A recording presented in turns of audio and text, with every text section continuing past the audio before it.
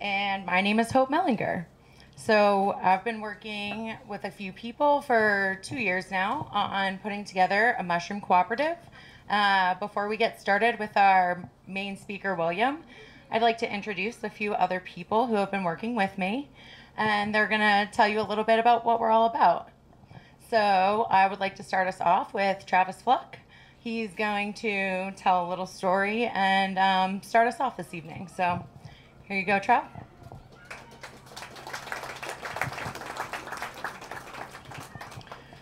Hi, everyone. I missed you. We missed you. Uh, I'm not sure. I said, I missed you. And then I said, we missed you. I'm not sure if everyone was at our last meeting, but I, an art gallery was kind enough to give us some space, and there were about 100 people that showed up, and that was only our third meeting. So to me, that says that we're on to something here. And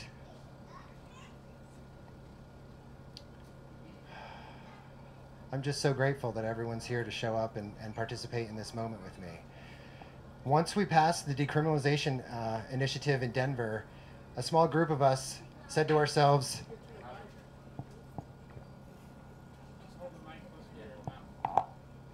a group of us said to ourselves, what do we do now? How does the community responsibly rise to the occasion to handle this new legislation? So after months of exploratory conversations, we decided that a cooperative was the best scaffolding to bring community together and to share resources mutually. Because at the end of the day, everybody that's part of the co-op is a part owner of, of the business. And equity is something that we are desperately working on centering here with the cooperative. Today I'm going to tell you a story. It's a, a European story, a, a, a folk story uh, about community. Once upon a time, in the mountains, there was a small village, very vibrant, and they had everything that they needed to be content. One day, two weary travelers came into the village.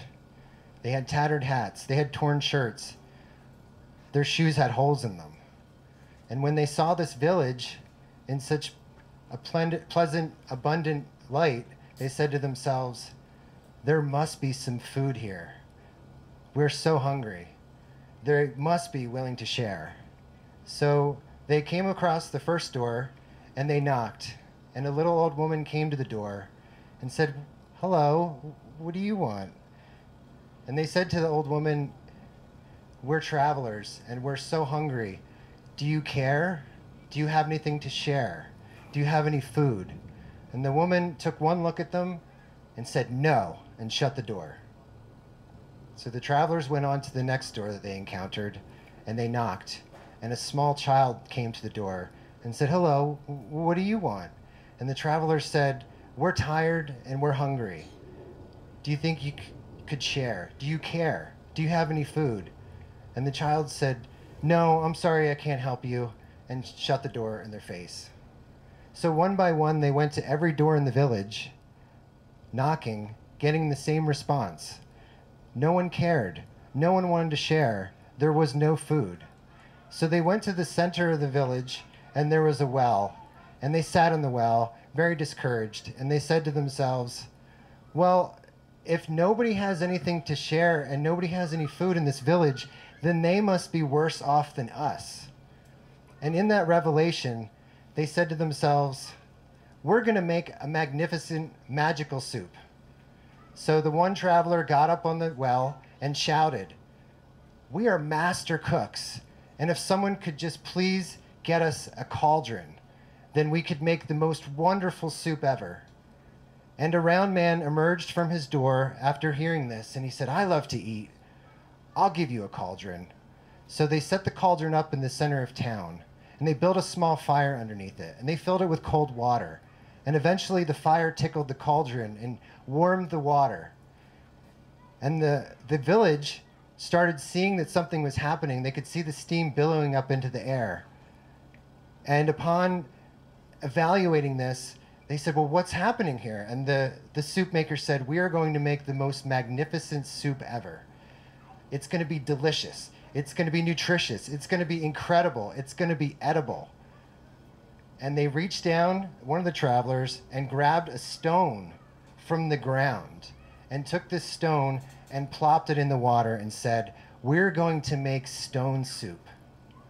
If only we had a carrot. And the other traveler said, Well, we knocked on every door, and no one had any food, and no one had nothing to share. So it, it looks like we're not going to be able to make this soup after all.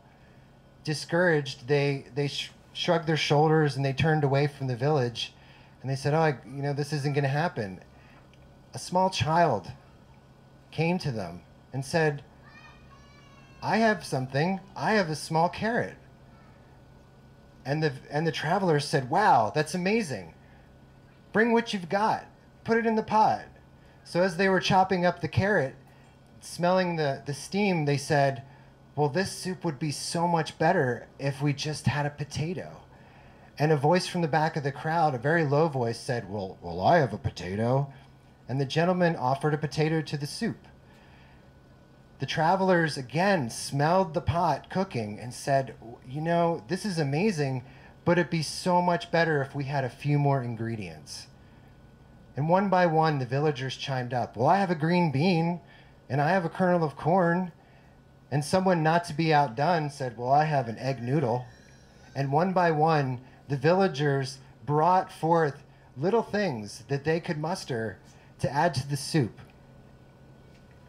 Eventually, the pot was full of vegetables, and the smell was delicious. And it was so enticing that the villagers went and got tables and tablecloths and soup bowls and cheese plates and fruit and bread. And they were so enticed by the smell that they started tasting it and they said, Oh my gosh, this stone soup, this is incredible. And the traveler said, It is incredible. And the magic ingredient here is sharing. So, what I'm trying to say here today is that you might not think that you have enough to save the world or help the, the current state of affairs. But if we all cooperate, if we all put a little bit of something in, then there will be more than enough for us to share, more than enough for us to take care of the weary travelers that come and find us. So in that story, I believe that we we are the villagers. And there are many weary travelers just waiting to come and visit and hang out. And I don't know where you see yourself in the story, but I don't I don't appear in the story. I'm a person that knows how grateful I am and knows how abundant I am and I offer myself. I offer my experience and my wisdom as an ingredient of our soup. And originally we were going to have this meeting at a warehouse space, and in that warehouse space are two flow hoods that are eight foot long. That, if you were to buy them new, cost forty thousand dollars each, with overhead cameras and particle detectors. And I'm also donating that to the co-op. So that's my contribution. Thank you.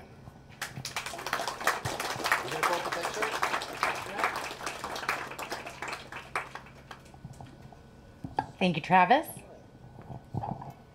All right. Um, next up, I'd like to welcome Riley Capps. He is a journalist who has been featured in publications such as the Washington Post, Double Blind Magazine, Maps, Chacruna.net, and local to Denver or Colorado, Rooster Magazine. Here's Riley. Thank you, Hope. So, yeah, as Trav said, that story was about hunger. But obviously, there are many types of hunger. There's hunger for meaning, there's hunger for community, there's hunger for purpose, there's hunger for mental health, for physical health, for all kinds of different things. And so, as Hope said, I'm a reporter, but I decided to get involved in this because it seemed like one of the best ways to satiate some hunger that I know that I have, and I believe that a lot of people have too, for a place to go. A lot of us grow mushrooms by ourselves, but a place to go to meet other people that grow mushrooms, that love mushrooms, that use mushrooms. And so, as Trav said, we're trying to, we have this warehouse space, and we want to get a better warehouse space where we can have meetings, where we can have the community congregate to share what they know, to have classes, to have a lab with these flow hoods, to sell mushroom growing equipment, to rent mushroom growing equipment, and to make substrates, which are the soil or the uh, from which mushrooms grow, and to to um, so that's the idea. A warehouse space that is the a center for the community, that is like a store but is bigger than a store, that gives us a spot to come and um, to to grow and to learn and to be together. Um, so there's many of us who make it our mission to help people discover how mushrooms can be helpful. And we want this to be the substrate from which mushrooms grow. We want this cooperative to be the substrate from which a stable community grows that is grounding, nourishing, and helpful to our members' lives. Now, we could start a business that looks like a normal business, just has one owner and people works for people work for it. But we're trying to start a cooperative. We are starting a cooperative. And as Trav mentioned, we've had so many people donate so many things. We've had people donate legal help and um, expertise on growing mushrooms and places to meet. And so we've come up with this idea of the cooperative. And to explain what a cooperative is and why it is so fundamental to what we're going for, and um, how a cooperative mimics mycelium and brings out the best of what the mushrooms have to offer. Um, I want to bring up Caroline Savory. She's the head of Spore, and uh, it's the. Do you want to come on up and introduce yourself? That'd be wonderful. She's been developing cooperatives for um, a long time, and she's helped us get our legs under us in terms of what this cooperative will look like, how membership will look, what the rates will be to join, all that kind of thing. And um, I'd like to turn it over to Caroline to talk about cooperatives. Hi, everybody. what a great crowd. Hi, everyone. My name is Caroline Savory. Um, and for the past nine years, I've worked as an independent cooperative business development practitioner, which is a fancy way of saying I help people start co ops. Um, and just recently, um, in January of this year, I became the executive director of the, an organization called SPORE, Society for Psychedelic Outreach, Reform, and Education, taking over for Kevin Matthews back there. Hey, Kevin. um, and oh, thank you for helping weigh down my notes. I really, I had some things to say tonight, so I really wanted to take, take good notes. All right.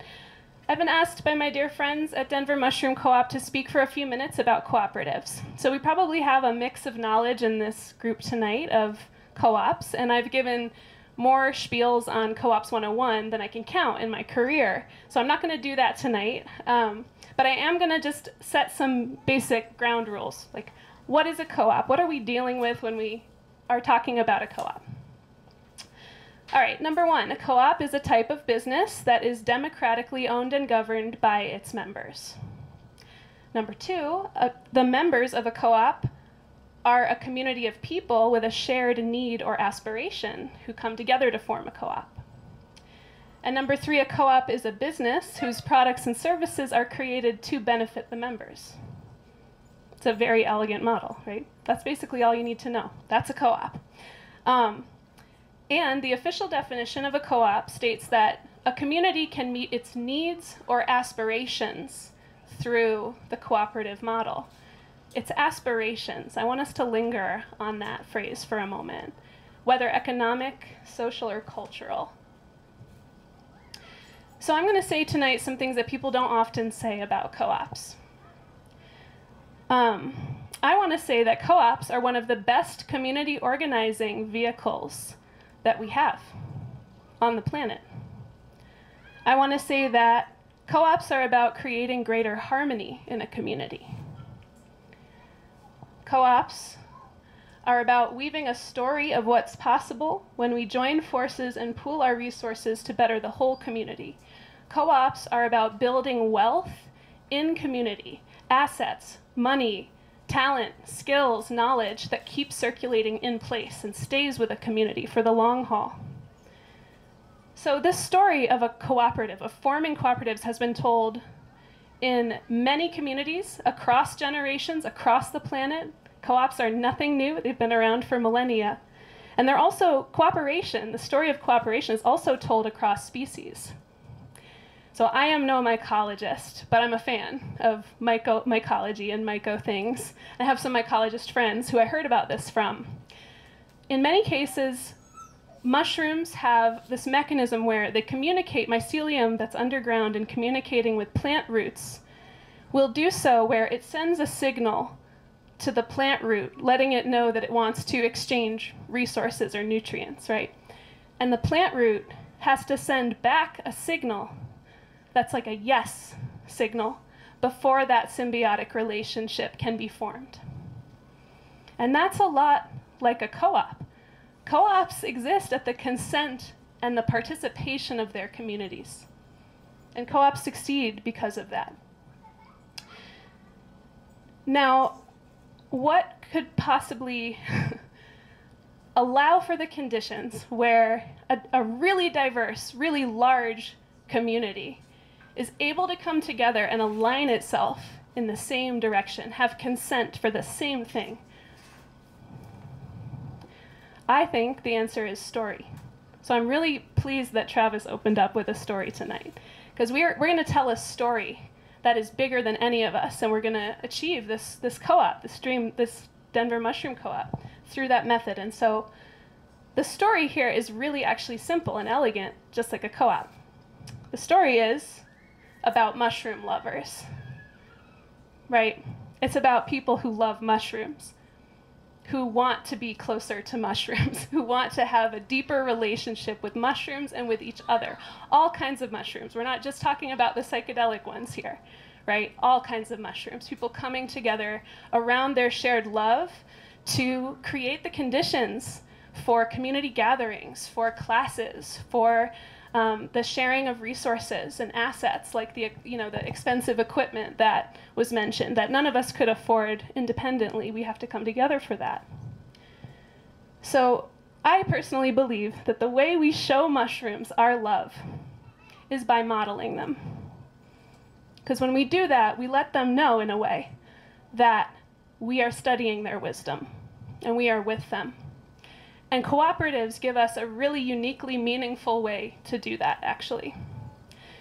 Um, so I am very pleased to be in a position where I'm able to share my knowledge and support, my technical support, to the Denver Mushroom Cooperative um, so that they can, so that we can create the best co op possible. And uh, representing SPORE, the nonprofit that I work for, Society for Psychedelic Outreach, Reform, and Education, um, we believe in a future where there's greater healing happening in communities. And we believe that that happens in part through partnership with psychedelic medicines, but also through partnership with the work that we have to do every single day as human beings to heal in these times and that's on us. But with those two things together, right, we dream of a future uh, centered in community sovereignty, where communities actually have the power to determine the way that they want to integrate with psychedelics. So that could look like co ops and community enterprises, right? Community owned and controlled enterprises. Whether that's a healing collective or a production facility or a, distri- a distribution or a dispensary, like whatever. SPORE stands in solidarity with those efforts because we believe it will benefit the most communities over time. So, um, and what we're doing at SPORE is really interconnected and mycelial in its own way. Um, we really exist to foster community leadership and education and interconnection in communities. And so, if you really like what I'm sharing about, if you like what we're up to and you want to get more involved in movement building and community building in psychedelic communities, I really encourage you to go to thespore.org slash membership and become a member of SPORE. SPORE is not a co-op. This is not a co-op membership. It's a donor membership. It's you make a donation at whatever level works for you, and then what that kind of allows you is you get the first access to the programs and the education that we're building as SPORE. So there's a lot of benefits involved. You can check it out on our website. Thank you so much for supporting SPORE, for supporting DMC, for supporting this event to happen tonight. I'm so pleased to get to know each of you more and to hear from you about what you want to build in community. Thank you.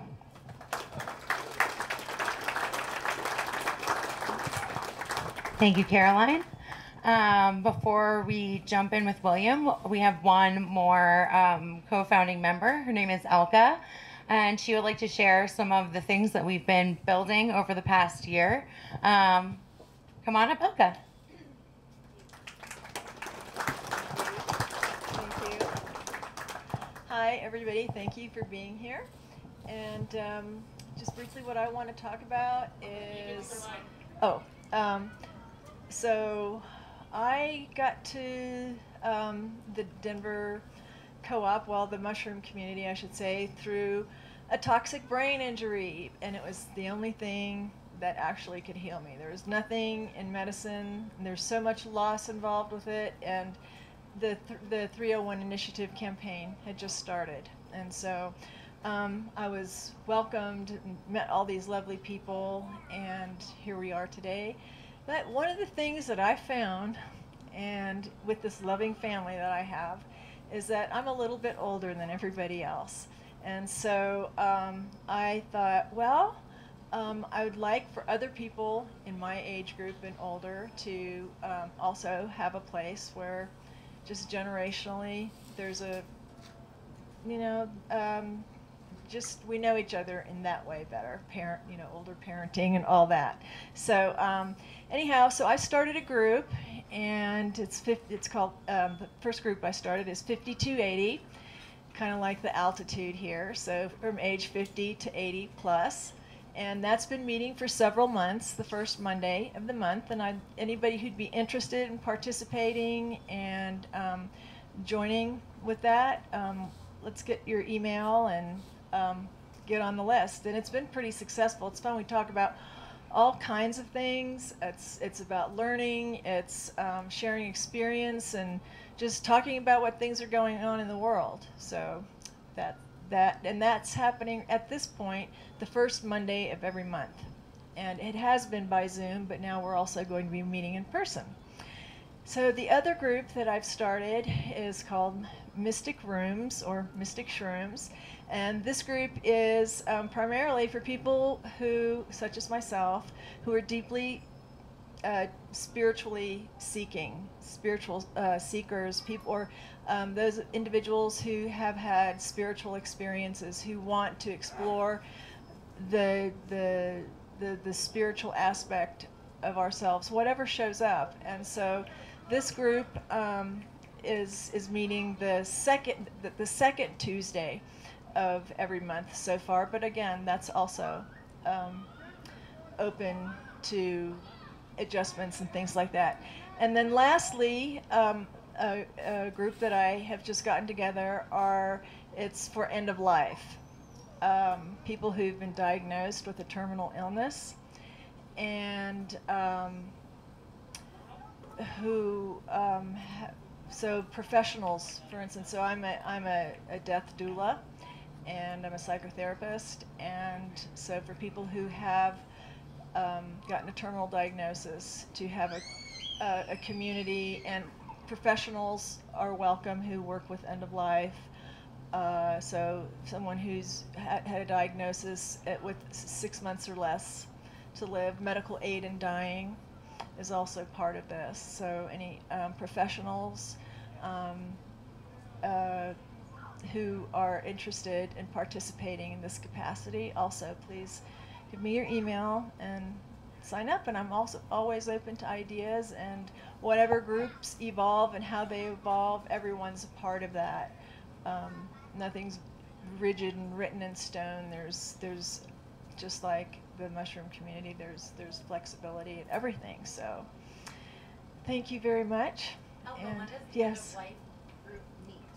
The end of life. Oh, right now we've we've met a couple of times, but we don't have a exact um, day right now. So we we were we've met like every other week, but and that can be still every other week. But that's what you know, just needing to hear what other people can do, what a vote would that would be on that.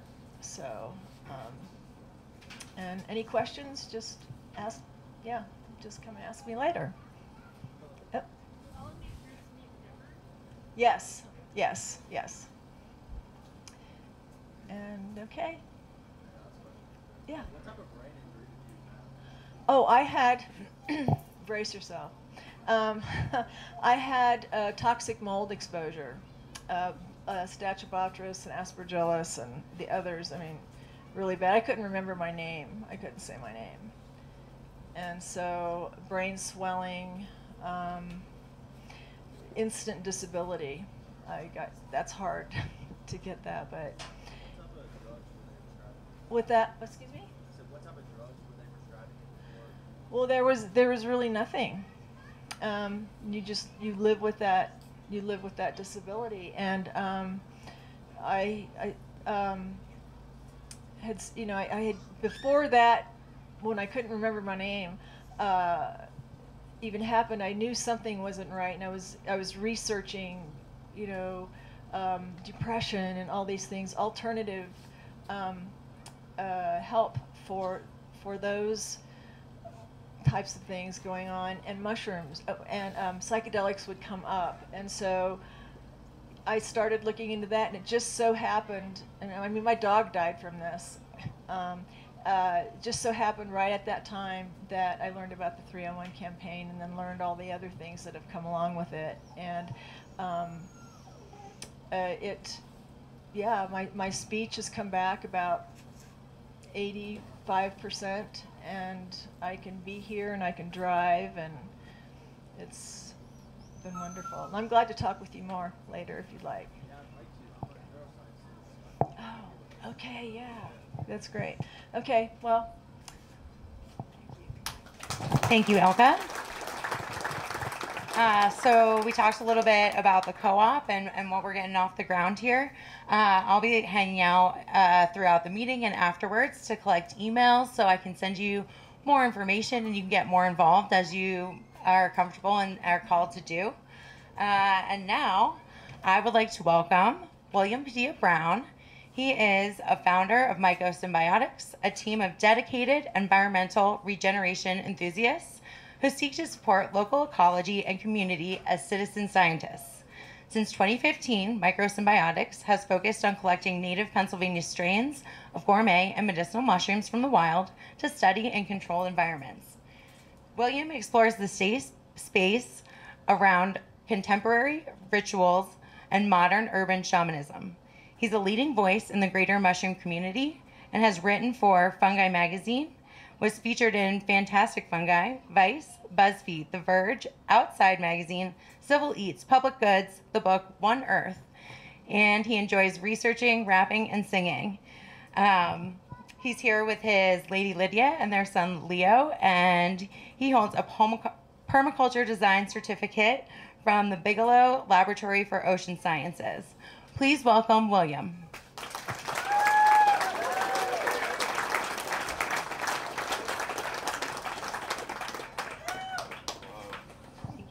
That's crazy.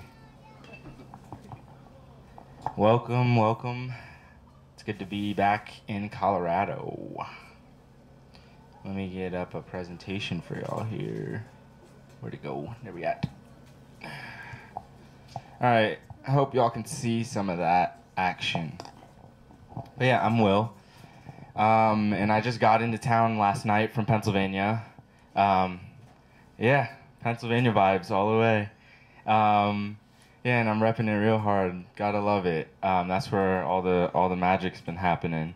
And uh, yeah, right before here, we were in Pennsylvania for three days, and before that, I was in Maine uh, experimenting with a protocol I developed from uh, studying some old research papers from 2010 on um, DNA sexing cannabis in early developmental stages uh, so that farmers can sex their plants and remove males uh, and uh, not waste time with uh, water and soil. Could save a lot of money. Um, so I've been working on refining that protocol, and uh, so I was spending a couple days up in Maine playing around with that in a legal setting. Um, so hopefully we can get that uh, to more farmers um, and alleviate some economic stress um, and propel us all into the future a little bit faster. But yeah, just been in the mix of things, you know. Um, I guess I'll just uh, I'll start with the mushrooms because that's how I got here. This is how I secured uh, resources enough to fling myself into whatever level of weird science this is now. Um, so yeah, mycosymbiosis. Um, I founded a company called MycoSymbiotics in 2015 off of a psychedelic experience I had where I came to the understanding that homeostasis could only be achieved via symbiosis with local systems, both ecological and social. Um, I recognized that without um, coming into balance with the society around me, the community around me, and the ecology around me, then I wouldn't be able to find balance in myself. Um, so I started to learn about the organisms around me. I started to learn about the people around me. I started to interact with the people around me. Um, I even tried to run for mayor when I was like 21 or 22. Um, and I engaged with the local politics. I engaged with the local uh, uh, businesses and corporations and things like that. Um, and found a lot of successes in it. And I found a lot of successes in mimicking mycelial archetypes. Um, I recognized in psychedelic experiences that the human being is the ultimate scientific tool designed by nature, and our linguistic capabilities are inhibited by utilizing auditory linguistic structures because we're more inclined to understand symbolic uh, linguistic structures, which nature is full of. It is a living story full of symbols.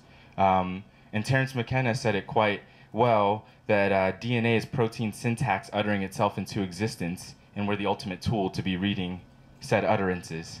Um, so um, I took it upon myself to engage uh, with the environment to be able to learn uh, to speak that language that is universal. Um, and I found that mushrooms were very, very helpful in doing this. Um, so, yeah. Uh, finding mushrooms in central Pennsylvania was interesting. Um, Pennsylvania is known as like the mushroom capital of the United States. Uh, because there's a lot of mushroom farms in, in uh, southeastern Pennsylvania. Uh, produces Kennett Square area produces most of uh, the mushrooms for the United States. Actually, millions and millions of pounds are produced there on a weekly basis. Um, but where I lived in central Pennsylvania, there was no mushroom farms. Uh, none for about a 60 or 70 mile radius outside of where I was living. Um, and yeah, the not only as there were there no mushroom farms, but there was I mean, one metaphysical shop, maybe a couple yoga spots, and one health food store, no organic sections in any of the grocery stores. Like, when I tripped out, I was like, what the heck? Where am I? Like, there's nothing to facilitate any of this experience at all. At all. Like, actually, what I'm doing is quite disapproved of by everyone around me. Um, but I went outside looking all weird with crystals dangling off of me and started selling mushrooms at farmers markets in New Cumberland, Pennsylvania. And all the good old boys rolled down in their trucks out of the mountains and looked at me and assumed I was some liberal brown person. And uh, you know, I, I, was I was met with all sorts of racial slurs and political arguments, um, where I never met anybody back with an argument. I always met people back where they were at, just like the psychedelics did with me. Um, and for that reason, I was able to have a lot of really good dialogue with the community and actually have changed the community in quite a very, uh, quite a large way, uh, quite a dramatic way as far as uh, ecological literacy in the area. Um, and I got all those good old boys to buy my mushrooms. Um, so you got to know how to grow. You got to know to grow. And I think that growing mushrooms is one of the best ways to um, alleviate economic stress, which is one of the best ways to bring uh, the human attention into the present moment where it's not diverted um, in working for uh, to fulfill needs. Um, all of our needs should be met um, once we recognize our uh, our local uh, society and our local ecology. Um, we can all uh, achieve that homeostasis in our community together um, and fulfill our roles um, as ecological beings in this in this system. Um, so I'm going to skip through some of these things here. Um, so back in Pennsylvania, since since I was like 19 or 20 years old, I've been teaching classes at my home, um, and I I found this to be very effective for the students because. Um, from that home setting, they're able to see things that are very replicable. Whereas if they were to visit a large mushroom facility or a larger farm, they might be disencouraged by the um, scale of things or the uh, cost and price tag on a lot of the equipment that comes with it. Um, and until my friends uh, from Fungi for the People and my friends from like Smugtown Mushrooms and Radical Mycology started um, teaching classes around the country, there wasn't too much that was offered outside of the realms of large mushroom farms for education around uh, cultivation. Um, so we've been bringing people into the home setting and educating them on how to cultivate mushrooms uh, for years, and in doing so, have educated hundreds and hundreds of mushroom farmers. Um, and we also, thank you. Uh, we we do this um, um, and in the most um, conscious ways. Um, a lot of people are like fighting against the environment and cultivating mushrooms in indoor settings and uh, um, putting a lot of uh, energy um, and electricity in Pennsylvania is mostly coal and nuclear um, into modulating environments to be able to control them to, for mushroom production whenever the environment outside is usually pretty good for uh, cultivating mushrooms. And also, a lot of people around the country are bringing in materials and substrates from faraway places, which costs carbon to get those materials from faraway places to grow them on when there's abundance of agricultural waste products and urban waste products in every single urban environment in the United States that could be utilized for uh, mushroom cultivation. Mushroom cultivation. Um, where did my water go? Oh, there we go. That hash, man. Sheesh. Um, so yeah, we've been cultivating mushrooms on straw, coffee grounds, uh, sawdust, cardboard, whatever we can get um, to be able to turn waste into protein. That's how I got where I am. Um, I know it wasn't mentioned um, in my uh, um, in my description or my biological description uh, biography. Is that what they call it? Yep. Yeah. I'm such a nerd. It's too weird. Um, uh, but I dropped out of high school when I was 16 because it was interfering with my education. Um, and I took it upon myself to learn the things that I thought would be beneficial. And as a high school dropout in the United States, with the color of my skin and having a kid when I was 20 years old, it wasn't really easy to get jobs that provided a lot of resources. Um, so I had to figure out how to grow mushrooms on trash because I couldn't do anything else. and, and because I figured it out that way, it's so replicable. I've been able to teach this to people all over the place. and uh, yeah, we do all sorts of lab skills as well. Um, so it's not just rudimentary, um, you know, cardboard cultivation or low-tech cultivation of mushrooms or anything like that.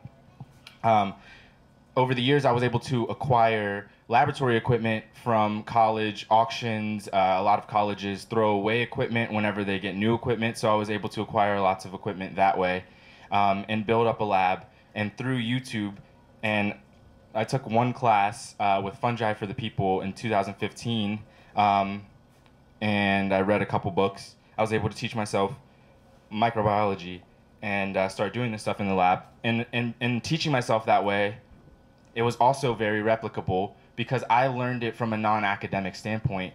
So I didn't have the jargon of the the ivory towers instilled in me. I was I was speaking still the same language of the people, and not utilizing all of these technical terms that would disconnect uh, uh, an academic person from your everyday person that just wants to learn how to grow mushrooms.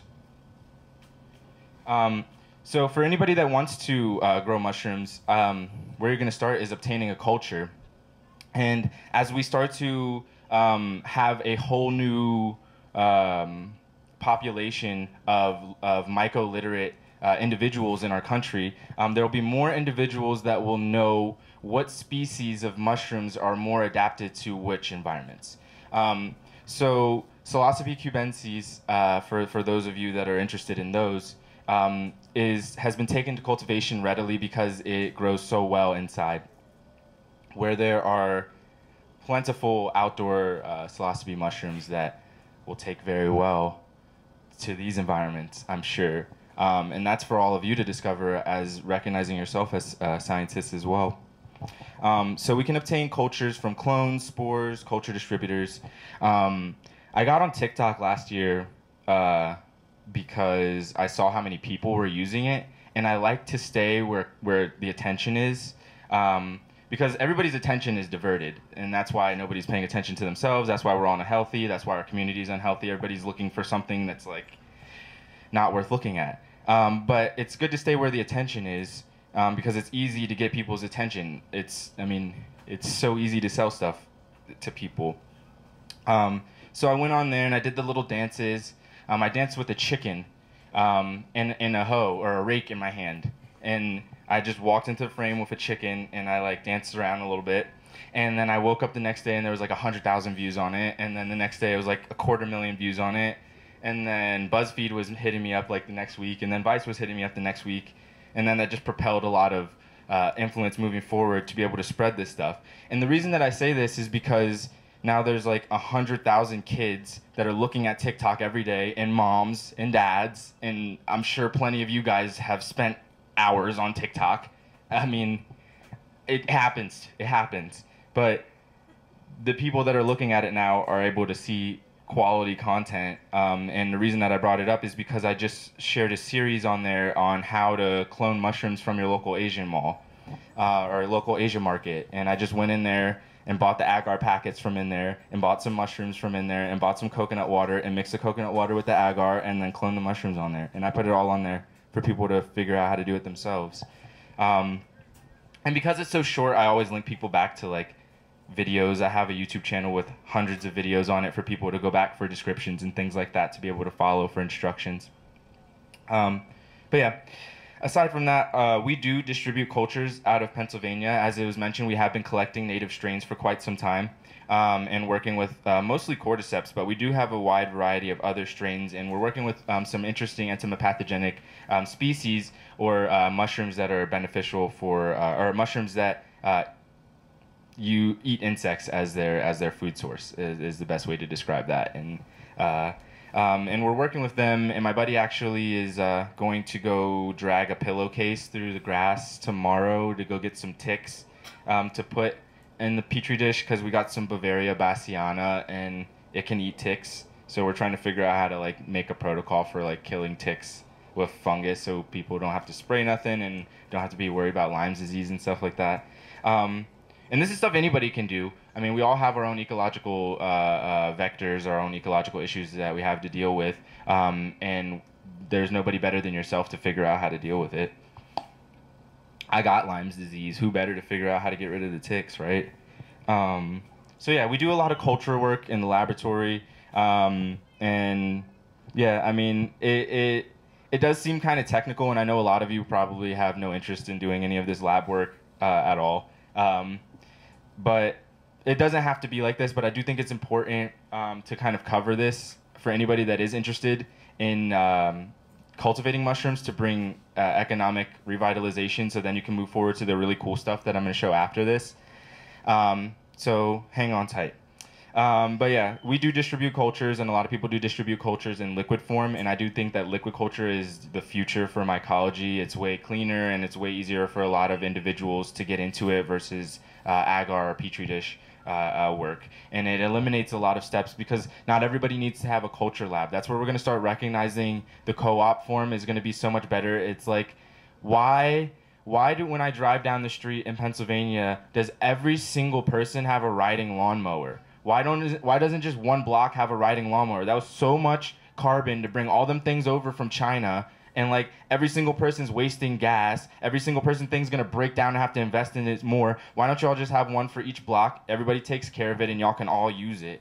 Like it's the same thing. Like why does everybody have a HEPA filter now? Like why does everybody have a whole lab in their house? Like why don't y'all just come together as a community instead of everybody having to invest so much money in this? Not everybody has to do everything now. And like a lot of people ask like, why do I do so many things? Because not only do I do mushrooms, but I cultivate algae, and we do uh, additive manufacturing with 3D printers, and we uh, uh, do molecular biology, and like you know the list goes on and on. And like, why did I do all those things? Because I needed all of those things to perform the functions that I'm here to do, and it didn't exist whenever I figured out who I was and what I was here to do. I was living in a place in a time that the tools weren't there for me. So I had to ma- man- manifest the tools. But if I was in an area that the tools were already manifest, I would have been able to engage in a way, uh, and, way better, and not have to ex- extend so much of my own time and my own resources into it. So you guys are in a really great position where you're already talking about this. Like not everybody has to have a lab in their house. Like y'all can have a community lab together. I've seen so many great examples of them.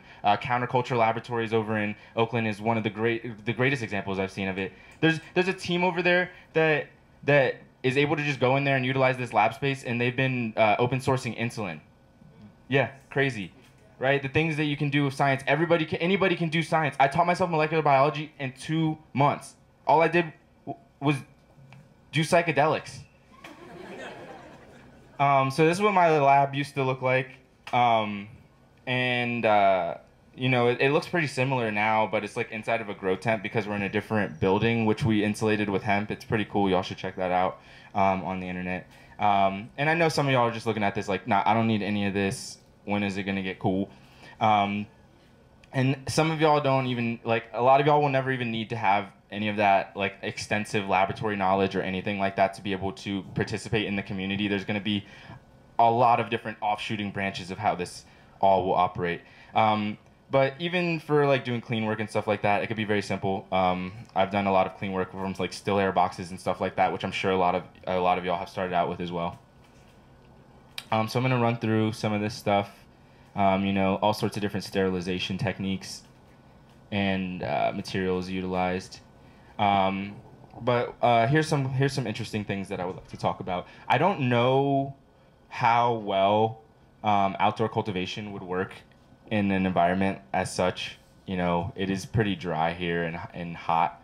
Um, but I do think that there's a, there's a lot of potential for outdoor cultivation, and I would like to share some of the um, successes that we had. And I think that um, figuring out where the microclimates exist and and uh, um, I don't even know what's the best word. You just utilizing those. Um, I think I think it's I don't know the best way to even explain what I'm trying to think. Like we have to consciously utilize our spaces instead of just popping up and putting buildings wherever. Like there's there's spaces that are like producing specific microclimates that are beneficial for you know growing some mushrooms outdoors.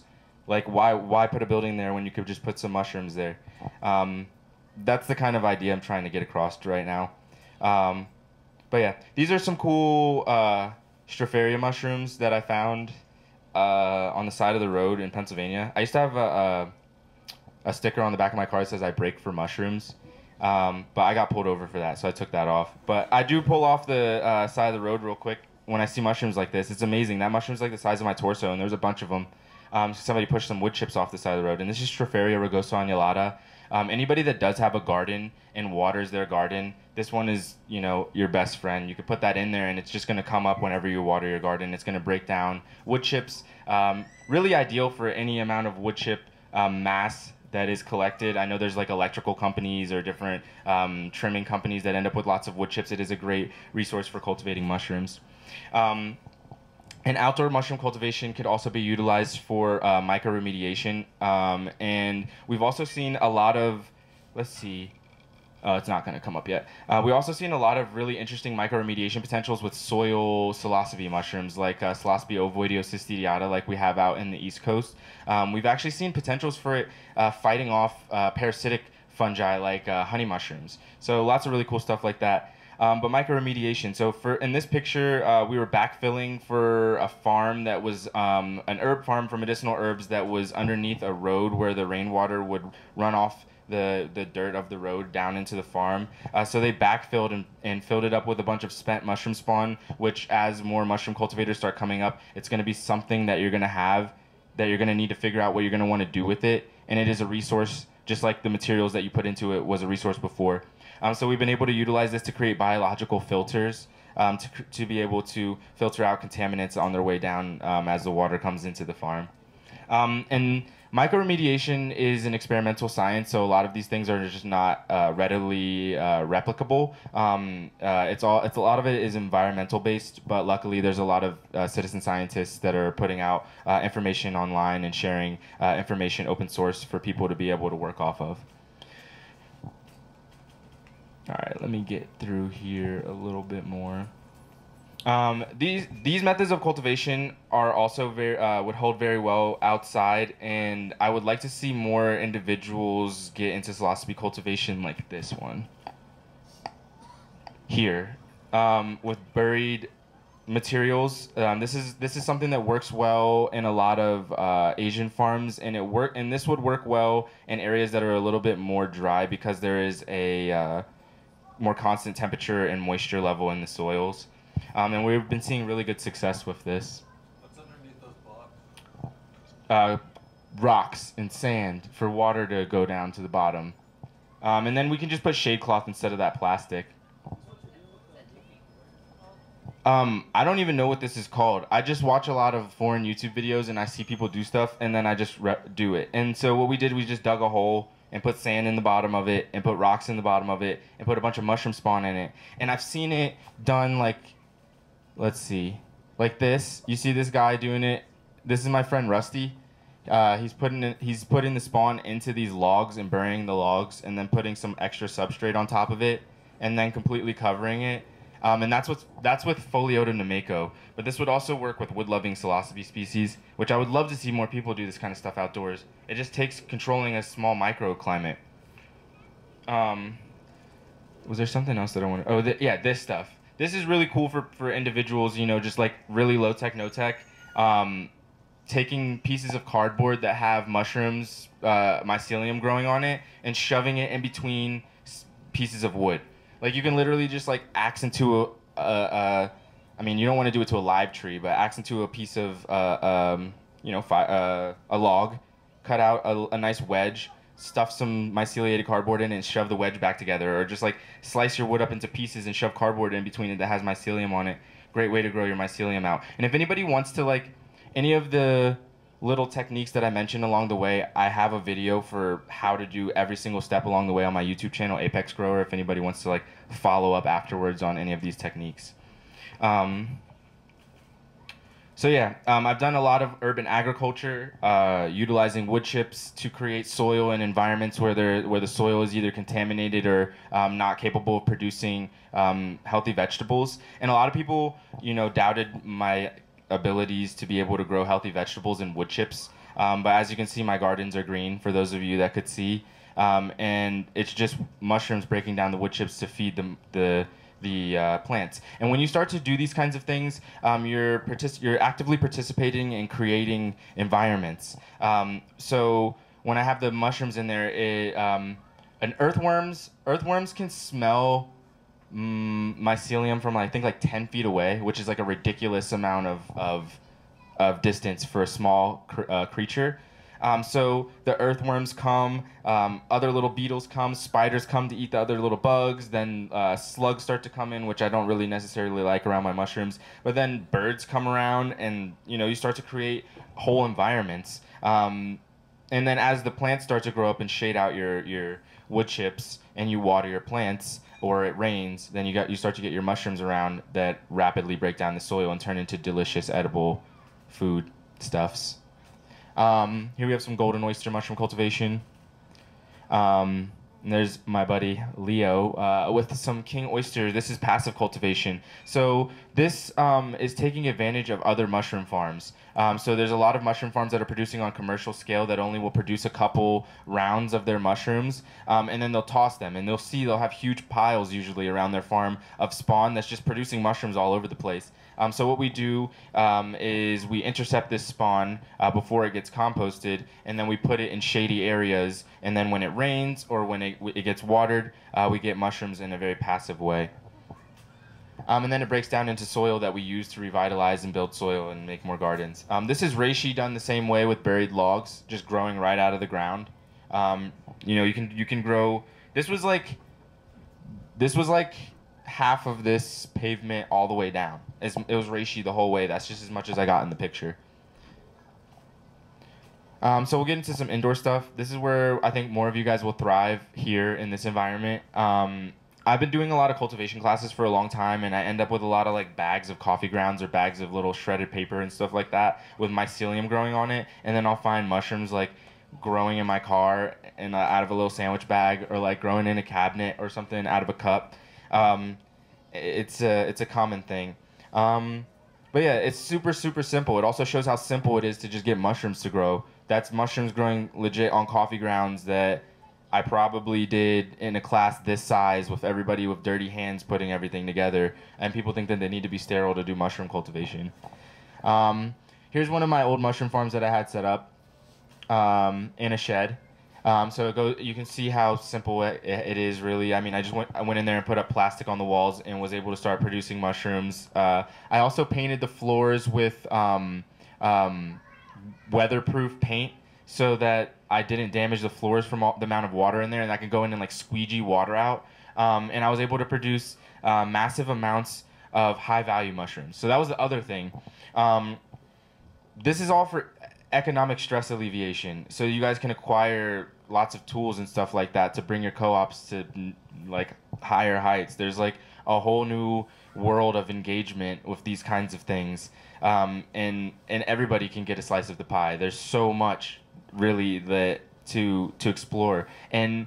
What, what I'm finding exciting right now, and I don't have pictures of it, unfortunately, um, is ev- like I mean, my buddies in New Jersey right now are cultivating Fistulina hepatica, which has limited record of cultivation at all. This is the beefsteak mushroom that can be eaten raw. That's a whole new culinary uh, mushroom. It's a saprophytic mushroom. So right now we have mycologists that are becoming literate. We have individuals around the country that are becoming literate, able to talk to each other on the internet and bounce ideas back and forth really quickly. And now we have people that are cultivating mushrooms that have no history of cultivation, like the Fistulina hepatica that my friends at Garden State Mushrooms in New Jersey have been cultivating, and then also Ischnoderma resinosum, which I've been sharing cultures of out of my lab. We cultivated it indoors, and my buddy cultivated it in 90 degree summer, where it usually where it usually grows in the fall in the wild. And this is a mushroom that is edible and tastes like skirt steak and has almost no research on its medicinal values. So also as people are starting to make these cooperatives and acquire laboratory equipment together, you put yourselves in the best position to be able to research all these mushrooms that we know are safe to eat that has no record of medicinal anything. Like there's so much room to, for discovery. So I mean like those two off rip and then like Globifomes graveolens. Uh, my, my buddies at uh, uh, Mush Love Mushrooms in Virginia have been cultivating that one. No record at all of medicinal value, but it's a polypore, and we know that all mushrooms have uh, immunological polysaccharides at least. So there's that's a basis to start off, and there's people been consuming it. So like we already know that you can consume it safely. We already know that it's cultivatable. What if we find out that it's like kills a, a certain type of cancer cell or what if we find out that it's like super effective against like malaria or something like that and nobody knows because there's no research done on it but now we're acquiring the tools to do so and we can just start popping them out like this in a little shed um, I keep good connections with chefs because they pay the bills. Um, happy chefs, it means that I don't have to stress about my car payments and stuff like that. Because you know you got to have like um, you got to have contingencies. If you want to keep doing the cool stuff that you want to do, there always has to be some backup of thing that like in case what the cool thing you're doing is not making money. Because like until the co-op creates enough of a community where you can detach and with decentralized models and decentralized means, which I have tons of information about that on the internet as well. Um, I have a whole YouTube video on decentralized economic systems. Uh, I don't even want to let my mind go there right now. Um, but y'all should start talking about that as cooperatives as well. Um, I'm sorry? Lots of lion's mane mushrooms. Yeah, he's holding lots of lion's mane mushrooms. Everybody loves these. They're high value. They're high dollar. Um, they're neurologically active. They're highly bioactive. We've been making concentrated extracts of this stuff that is highly bioactive to the point that people feel like they are high when they're consuming it at a concentrated dose. It is fully just like neuro lubricate. Did, or- did you have a question? Yeah. Oh, I forgot. I don't know, and I forgot about that. Honestly, life's been so crazy that I forgot about how crazy everything has been at, as it goes. I just get back into my lab and like, oh, this is where I left off, and get back to it. Uh, but we got Wolfiporia. I want to say Wolfiporia. It's related to Wolfiporia or a mushroom called Fuling in China that is like mostly polysaccharide, and it has record of Native American use where it was called something like a tuckahoe, and um, most people reference it as a bread. But when you cut that thing open, it's just pure white, and it's like mostly complex polysaccharide that if, when you put in your mouth feels like a starch, and it's like highly bioactive and medicinal in its own. Um, yeah, it produces a sclerotia. It does produce a mushroom, but it's more rare to find. Kind of like chaga. Like chaga will produce that like weird like lumpy thing that's people are debating on what it is, and it also produces a mushroom, which is more rare to see. Um, uh, the Wolfiporia does produce a mushroom, but it produces a sclerotia, and sclerotia are beneficial because they're like these underground forms that mushrooms make to uh, store their energy to withstand harsh environments. And because of that, they fill it with medicinal goodness and, and energy for them to live off of. Um, so there's that one. Um, and we're trying to identify it. I've just been in and out of the lab, so I haven't been able to like get all my DNA organized accordingly, um, which I'll talk about even what that means. Uh, but I, I, I do DNA barcoding and identify all of everything to make sure that we're pro, pro, doing proper science so that people take this seriously, um, and uh, so that it so that you know it's effective. in um, um, so we're gonna figure out what that is. We know it's edible. It, we know it's a it's a relative of the one that's being cultivated and consumed in China. And this also um, brings a whole new level to North American cultivation, where we can start utilizing pine species uh, for for large scale mushroom cultivation, where we've only been using hardwoods because the Wolfiporia grows on pine, and we can grow like body-sized coconuts of pure polysaccharide, um, which is going to be insane. Uh, and then uh, brrr, Pleurotus tuber-regium. That one produces a sclerotia that my buddy in uh, Keswick, Virginia, what is it? Uh, Sharondale mushrooms. He experimented with cultivating that one on grains and produced massive potato-sized sclerotia that are highly medicinal with some novel compounds. I, I recommend just go reference that. Um, tuber-regium. I don't know if there's a common name for it. Um, maybe just come find me afterwards and I'll share it. How, but that one is definitely look at that one. Um, and then cultivating, uh, you know, pretty novel species like maitake. If anybody can start cultivating these, these ones sell at high price all year, especially when they're off season. Um, when they're in season in um, the Northeast and Mid Atlantic, we find so much in Pennsylvania, New Jersey, Ohio area that we literally supply the whole country with maitake. Like you can go out on any given day and find like a hundred pounds of these where I live um, when they're in season. And because of that, nobody should be going hungry. Um, but when they're not in season, you can sell them for a really high price.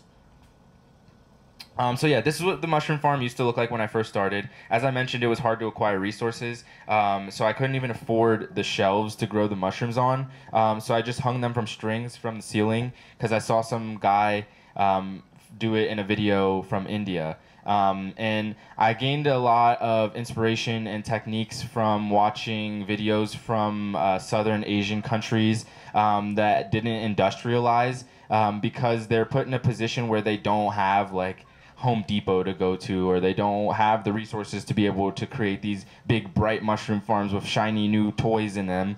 Um, and they have to, you know, put up some bamboo, put some tarps over it, and grow mushrooms that way. And because of that, they've been able to grow the same mushrooms like we're growing, you know, pumping hundreds of dollars into controlling lights and AC and all this kind of stuff, and some like tarps and bamboo and stuff. So why put all that extra money into it when you could just do that? So I just hung my mushrooms from the ceiling and as the mushrooms started to, uh, you know, pay for themselves, then I started to utilize them to pay for the equipment. After I did the initial investment into the the the uh, into mycosymbiotics, I let the mushrooms propel it, and then everything else propel afterwards. Um, and then eventually, you know, I expanded into like what most people would consider what looks like a mushroom farm and quickly found myself with hundreds of pounds of mushrooms and, and creating new relationships with people. Um, having that many mushrooms and not ways to sell them, and I wasn't really business savvy. It put me in a position where I made a lot of connections with individuals and started doing lots of trade and barter, um, which goes along the decentralized uh, thing. So where where this started to be beneficial is um, I was able to help people that were hungry. Um, and I was able to acquire things that I needed that I didn't have to then spend my money on. Um, so that worked out really well. Um, and then I also did find a lot of accounts to actually make some fiat uh, paper from as well. Um, um, and then you know we get beautiful harvests, and this is something that I want to share with more and more people as we go along. Like when when this can come from just like you know a little bit of sawdust or coffee grounds, and like I mean I got all those oyster mushrooms, which you can literally grow on coffee grounds or sawdust or paper. I got the spirulina, which you can grow on like, uh, I mean, nutrient salts that or brewery uh, uh, wastewater or uh, um, uh, biogas effluent. Um, and then all sorts of wild forage greens. It just takes a, a little bit of knowledge of, of, of your environment to be able to provide these kinds of things for yourself, which you know, provides that uh, economic alleviation so that you can engage in a different way. Um, so we've had all sorts of experiments with different mushroom cultivation. This one is from a really great example at the Radix Center in Albany, New York. If anybody ever has the opportunity to go up there, they offer really amazing classes. I took the regenerative urban sustainability training with them back in 2015. Um, they have kids that go around the whole city of Albany, acquire coffee grounds from the cafes. They put them in bins like this and they inoculate them with oyster mushrooms, grow the oyster mushrooms, and then sell them. Um, really great model. They have animals there. They grow algae there. They have a big, beautiful greenhouse, um, and it's all run by uh, kids mostly at this point. Um, yeah, this is just some pretty pictures at this point. Um, if anybody is doing composting or has any other level of uh, urban ag or farming, um, agaricus could come into play as another uh, beneficial mushroom to start mushroom to start cultivating. Um, and this one is a good accumulator of minerals um, for uh, replacing mineral supplements and things like that. Um,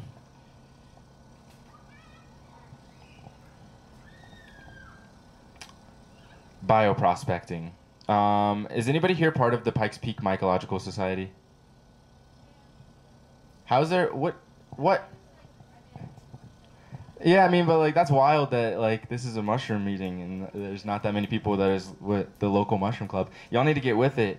Um, there's a Denver one. Oh, wait, how did I not know this? How many of y'all are part of the Denver one? What? What? That's still not enough. All right, so bioprospecting. I, I definitely recommend engaging with your local mushroom club so that you can start to know and become literate of the uh, your neighbors your, your, your fungal neighbors so you can know what's around and you can start to prospect for the ones that could be beneficial for your, you and your community. Um, so before I move forward, what does this look like symbolically? Um, the thing I'm holding in my hands. Anybody could just say it out loud. Cauliflower. Cauliflower. What was it? Brain? I heard a couple brains. Um, has anybody ever heard of the doctrine of signatures? All right. Um, the doctrine of signatures um, shows how different uh, organisms in nature grow in forms that are beneficial for different functions uh, or different organs or things like that. Like like um, the lion's mane, it's good for the neural network and it shows itself in like symbolically like a brain or like the reishi looks like a liver and it sh- and it shows itself um, in a form almost looks like a liver or like the cordyceps is good for the adrenal glands and it don't, and it shows itself in a form that almost looks like adrenal um, so it's interesting how nature does this, and again goes back to understanding nature as a symbolic system, and understanding how we can start to communicate it with communicate with it on on different levels. Um, here we have some very large lion's mane. Um, there's been all sorts of different uh, interesting research done with this uh, for cognitive capacity in conjunction with psilocybin. Um, my buddy Alan told me a story of a friend that was in a car accident um, and was paralyzed and was told that he would never be able to walk again and was able to utilize uh, lion's mane with psilocybin in conjunction um, and now he could drive cars and walk again. Um, I definitely recommend messaging Alan Rockefeller and he can actually connect you with the individual that could tell that story on a, on a deeper level. Um, but these are really powerful compounds. These are really powerful bioactive compounds and I don't know. I mean, I, I get overwhelmed in, in in trying to understand the complexities. I kind of just go with the flow of it. Um, this is one of my friends um, that I've been visiting for about four years. Um, and it's provided me and my family and the community with lots and lots of medicine. Um, and it's far up this hackberry tree that's surrounded by poison ivy. Um, so I'm never worried about anybody else getting it because I don't get poison ivy, and I think everybody else would probably be afraid to get up in there. Um, but it's really interesting to see how bountiful nature is. Um, here we have Hericium americanum, more of a cascading Hericium. Um, ooh, I, I forgot to mention something for the nerds. Um, this one in my hand, does anybody know this species of this one? Uh, this one is Hericium coralloides. Has anybody heard of this before, the coral tooth Hericium? All right, so Hericium coralloides has some interesting research right now on it, um, showing that it has three novel compounds, uh, A, B, and C, um, which are also neurologically active um, in similar ways to the erinacines and hericenones found in lion's mane, um, but they're all different. Um, so I think it's going to be really interesting to explore this uh, further um, because the neural medicine once we kind of get ourselves in alignment is what's going to take us to the next level of being able to um, engage our consciousness with the biocomputer um, for higher levels of, of, of, of function and processing. Otherwise, your, your nervous system will run hot. Your brain will run too hot. Um, so we need to be able to lubricate ourselves with these kinds of things from the inside, um, as well as cannabinoids. But that's a whole nother story. But if anybody's interested, um, look on my Instagram, and I posted a couple days ago um, this post called the truffled vole theory um, that I've been working on. It's very rudimentary right now, um, but it goes in depth, and I shared an article um, on how the CB1 receptor for cannabinoids led to advanced neural networks in brains. And the research that starts with the truffled vole theory, which just to be brief, uh, talks about how all mammals that survived the mass extinction that killed off the dinosaurs because they were small and ground dwelling mammals had very intimate relationships with truffles. And modern research shows that truffles produce anandamide and other cannabinoids and have an, end- an endocannabinoid system themselves.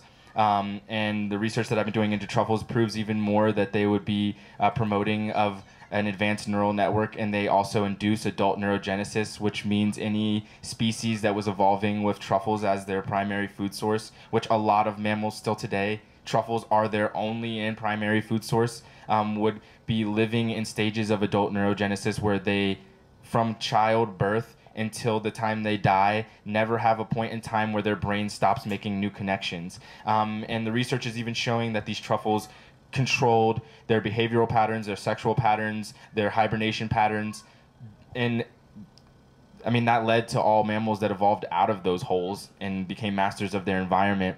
Um, so I think that some of this research and understanding how we can utilize um, these compounds that we have found in nature to be very beneficial for um, neurogenesis and beneficial for neural health um, can really um, usher in this um, this um, this building, this building of a new tomorrow, this this this uh, building uh, uh, of, uh, of a new cosmology of consciousness, where we're we're discovering the new linguistic tools and coming together as a community to understand how we can dock higher levels of consciousness onto our communities, onto our own bodies, um, which takes you know higher levels of neural capacity and neural work. Um, so yeah, I mean, I could show you guys pictures of mushrooms forever. Um, I, I think in in coming here, and connecting with this, from this like stone soup, like what does everybody have to throw in the pot kind of um, mentality.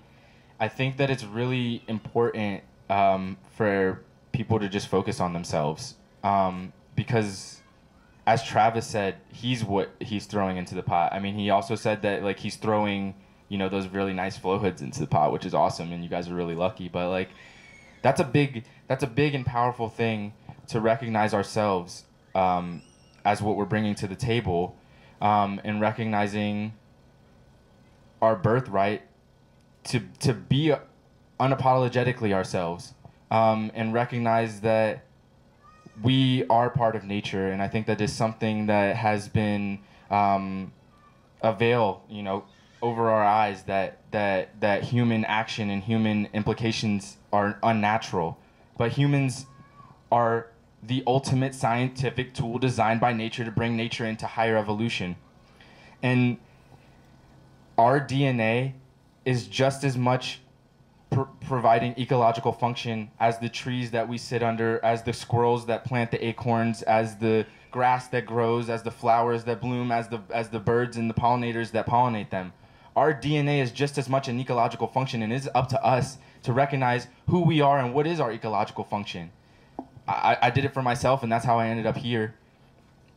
And I hope that more individuals, and I, I'm so happy that there's the time and the space for people to be able to, to do this together and talk about it together and move forward together to recognize you, what what you can do that nobody else can do. What is your what are your passions and what do you bring to the table? What are your feelings and why do you feel them? Why are you inclined to do these things that other people aren't? And explore those things and you're going to figure out all sorts of amazing things that you can do that nobody else can because you're a unique individual and all of us have something so beautiful to bring to this soup and at the end of the day it's going to be so much fun when we get to look at each other and be present with each other and not be distracted by i have to go to work tomorrow or i need this thing or i need that thing when we can sit down with each other and say what can you do like I, I see you like what can you do like show me I want to see every single one of you. I want to see all of the beautiful things that you can do.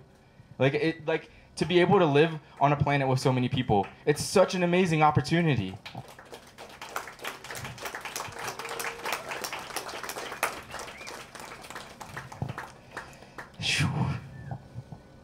Yeah, this is I mean, this is great. I I think in in my quest to achieve homeostasis, it went exactly where I thought it would, but so fast to the point where now I'm able to navigate the world as the global community. Like it was my my community first and I and I, I figured it out where I was never hungry and everybody was able to provide for me. Like I had something to provide for my community and my community was able to provide for me. And if I was struggling, I could go outside and I knew my ecology. I was able to survive even down into the winters. But then in doing that and in recognizing myself where I was, so many people wanted to find that same that same feeling that I was expressing. So many people wanted to be able to find that health and that success that I was finding in life. And so people started to take me away from where I was living to show them how to do it in other places. And every time I've left my home to go somewhere else, I've been greeted by the most beautiful people in those places. Those people that represent the same things that we represent. Those people that have been playing around outside and growing the food. and, and, and caring about the things that we all need to care about. And I've been able to meet them all around our country, and I've been even able to meet them all around the world. And it's given me so much hope where I didn't have it before.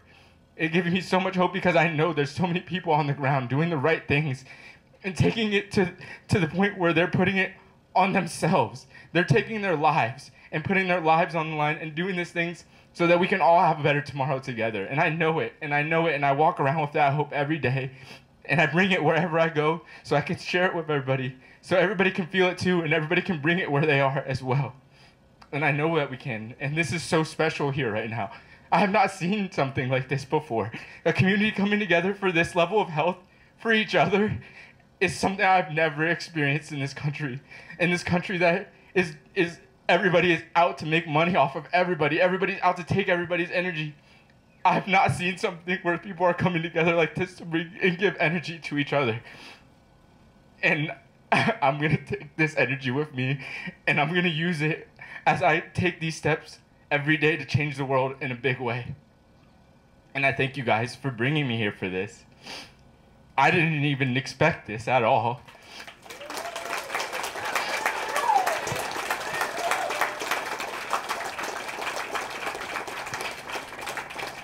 I think I'll just show you guys some more cool mushrooms.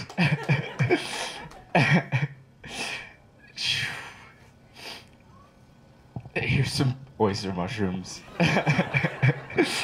oh gosh. Here's some Psilocybe ovoideocystidiata. This one is funny.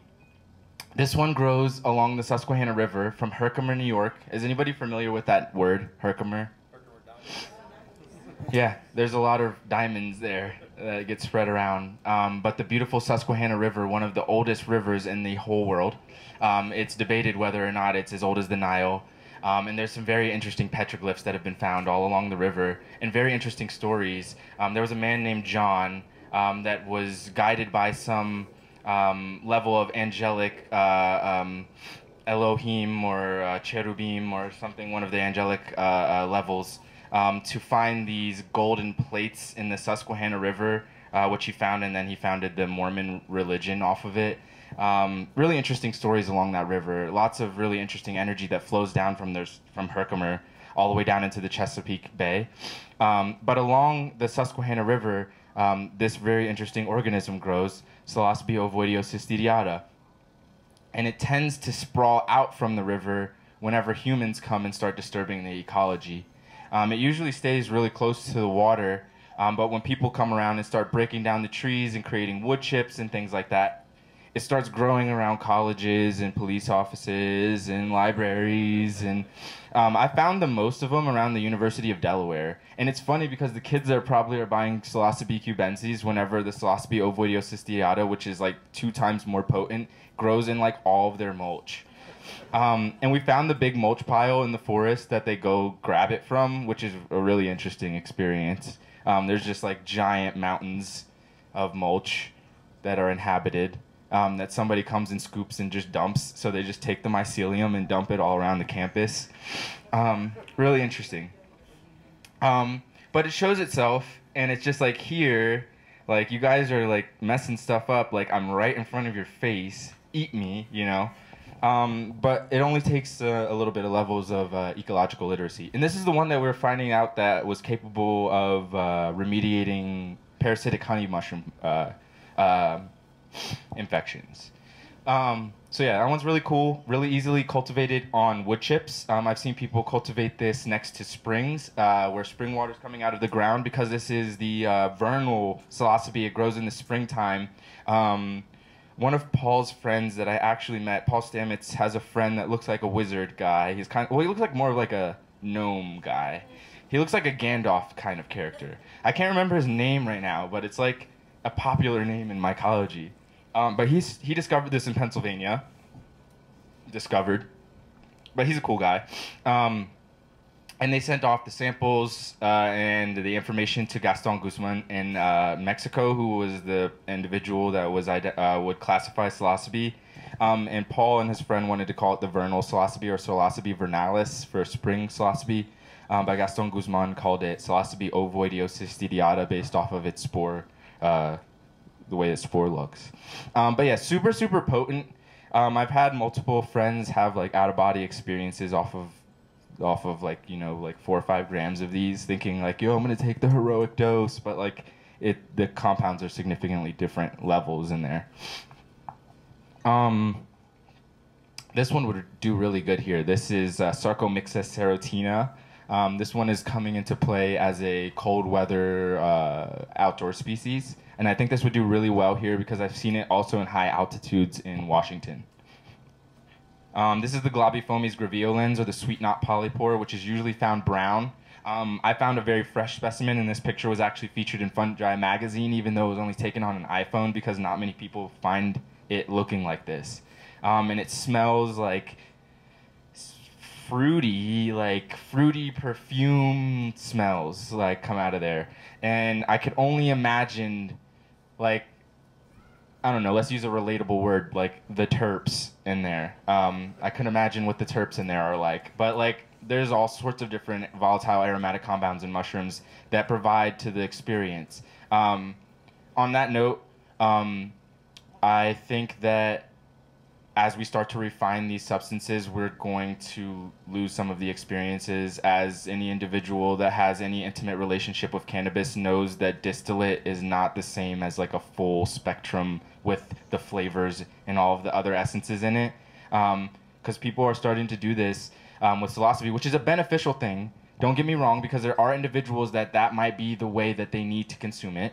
Um, but I think it's important to recognize uh, the kind of uh, play that the aromatics and the flavor compounds have in a medicinal experience, um, where so many people are like turned off because all we ever eaten our whole childhood is refined sugar and salt and fatty foods. Our palates are so perverted that we can't enjoy something that has a little bit of bitterness to it um, because uh, who knows why what that stuff does to our tongues. Um, but it takes a level of refinement to be able to then discern what's even going on with these kinds of things because we're we're the generation that's going to consume this and say this is what it does. Whereas there were people in in ancient Asia that were consuming the mushrooms and saying like oh this is good for this. Because they were that sensitive and that in tune with their bodies to be able to consume something and say oh this is like I feel this here or I feel this here this is alleviating this for me. That's how all of this how all of the medical or the traditional Asian medicine was even developed um, here we have birch polypore. I've noticed a large amount, a large population of middle class and upper class American youth uh, around my age moved to Central and South America and uh, tropical islands over the period of COVID. Um, if anybody's on Instagram or social media, you've probably seen somebody with some bread move to Mexico or something like Tulum, probably. How many of y'all know somebody that went to Tulum or is like, how, yeah, right, all right, cool. Um, so a lot of people that have no experience traveling are probably going to get intestinal parasites as they like get down there, and that's going to be an, uh, one that you could sell them real easy because they like to buy stuff. Um, so this is birch polypore. Um, and I think the Latin name has changed to Fomitopsis uh, betulina now. Um, but this one's really, really good for intestinal parasites, even tapeworms and stuff like that. And it can be cultivated. It can be cultivated. It's a saprophytic, and it, and it can be grown on birch uh, sawdust and birch logs. Uh, here we have Ganoderma sessile. This is another one of the Ganodermas. This is a laccate Ganoderma. Uh, if you're going to get into Ganoderma medicine, I would recommend learning the difference between laccate and non-laccate Ganodermas um, because they have different medicinal qualities. Um, laccate Ganodermas are more desirable for people um, for uh, visual aesthetics and things like that. But when it comes down to extracts and uh, in uh, product developments and things like that or formulations, it, it really doesn't matter at the end of the day. Um, here's here's some of the uh, the uh, Fistulina hepatica that's being well. This isn't this is a wild specimen, but this is the mushroom that's being cultivated now in New Jersey by my friends at uh, Garden State Mushrooms, and uh, we just slice it up like that and eat it raw. It has a citrusy lemon kind of taste, um, and the feel and the mouth feel is like a like a firm watermelon. Um, here we have Sparassis spathulata. Um, this is a cauliflower mushroom that grows in uh, Pennsylvania and has been cultivated in Asia. Um, so here's here's one of the things that I recommend a lot of uh, individuals do. Um, if you find a new mushroom, if you find something that you're interested in growing, look it up and see if, if somebody's doing it anywhere. And if somebody's doing it anywhere, you can do it where you are. Just buy the research paper or email the person. Like try and find a, somebody some way to get in communication. But there's a way to figure out if it's being done anywhere you can do it. If somebody can do something anywhere you can do it anywhere. It's that we're, we're living in a time especially in the united states. I don't think i think people that haven't had the opportunity to leave the united states don't realize how privileged we are. You can get anything in a day. You can literally get anything overnighted to you in a day. Anything. Anything. No matter where you are in the united states. Anything you need you can get to your wherever your address is if you have an address the next day. That is insane. There's places where you take days to get something. Like so if if somebody's doing something somewhere you can do it here and and people are cultivating this in asia and it has medicinal benefits of its own that i haven't even explored because i don't have the time i i, I just want to keep dropping gems like this for people and hopefully other individuals will take this up because like I've, I've discovered so many things on my in my path of of existence that each of these individual things could create a whole industry. Each of these things could create a business for somebody. And I've just like I can't do all of it, so I'm like hoping that I can help other individuals alleviate economic stress in in ways that also helps alleviate the ecological stress and the physical stress that we're all dealing with because all of these things are medicinal or if not medicinal, good food. Um, and then and encourage the youth. That kid over there with the little tie dye, he doesn't even know, but he could probably teach you guys all how to identify mushrooms and what's medicinal and like he even knows. I was talking with him. He was like when we were leaving the house um, to go to the airport. Our dog's name is Emmett. He's like Emmett's in the car with us, and I was like what? And he's like his hair is on the chair. His DNA's in here. And I was like what, bro? I was like fist bumped him, and, and I was like, I told him about cloning, and he immediately understood the concept. And he was like, "So I can have another Emmett when we get to Colorado." And I was like, "I mean, we have to wait for it to be born, but yeah." I mean, it's like, I don't even know how. Like he's, I, I, I didn't go in the woods and stuff till I was 18. I lived in cities. Like I didn't get exposed to this stuff. Like I was the rapid evolution that happened in my capability to understand the science and ecological literacy happened because I did a lot of psychedelics and I broke down linear time. I was able to have more experience in less time as people that were just living the regular thing. Like, does that make sense? All right, cool.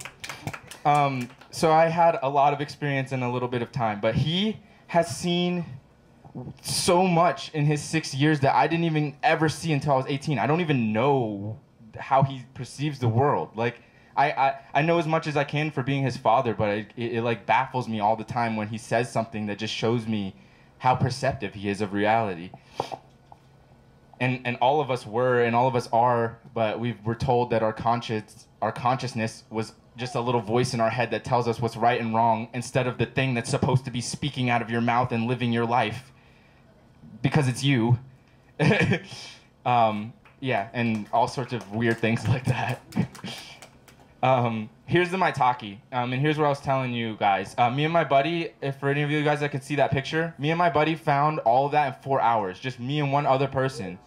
There's no reason anybody should be hungry. Like that comes all out of Pennsylvania, and we're leaving way more dead than we pull out fresh.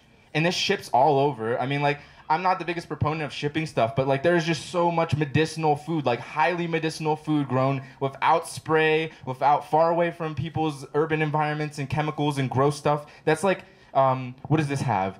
Um, um, uh, there's this special mm, polysaccharide in here in the, in the maitake.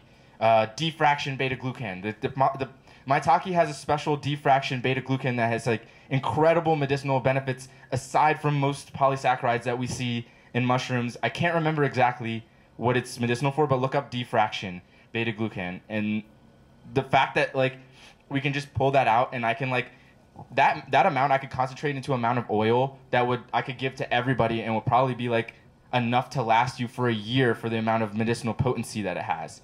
In this in this 4 hours with one person, you could go do that every single day. That's insane. Like there's so much wealth in in the environment still. And like we've we've taken down the the um in your face wealth. We've taken down all of the like the big trees and like the sparkly like oh this is clearly valuable. We've already taken all that out of the environment. So the mushrooms are literally where it's at until we are able to bring the environments back to that level. Um, these are naturalized shiitake. They uh, shiitake are asian. Um, the golden oysters that i showed earlier they're they're russian or northern northern asian.